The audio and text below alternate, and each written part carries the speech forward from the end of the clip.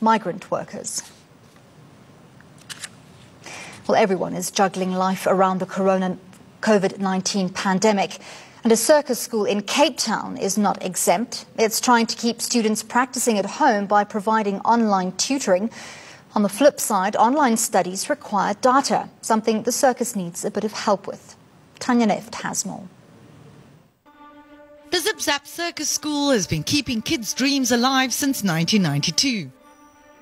Predominantly teaching students from underprivileged backgrounds the art of acrobatics at no cost.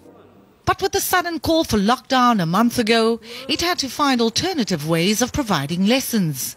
In the beginning, we all thought it would be a few weeks and we'd be back, but it seems like it's getting longer and longer. So uh, the difficulty is, you know, keeping them focused and keeping them positive so they don't get down. And it, um, you know, we can try to keep virtual circus classes going. And as long as they know we're there for them, and that we're all in this together and they can stay fit and they can stay healthy and they're going to be great jugglers when they get back because they're juggling a lot.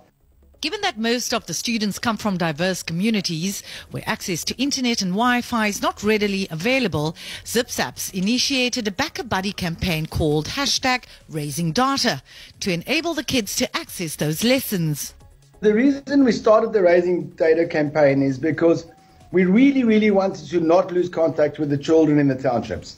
So, and because they don't have access to Wi-Fi and all the luxuries that a lot of people have at home, we decided to give them the data to stay in contact with ZipZap and also to enable us to, our teachers, to not only communicate with them physically, to you know, keep them physically sound, but to keep them mentally sound.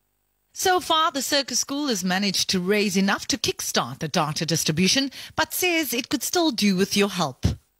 For now, like most businesses, it's closed doors for this dome that provides so much more than amazing circus skills. Hopefully, when the dust has settled, the young students will once again be reunited with their home away from home.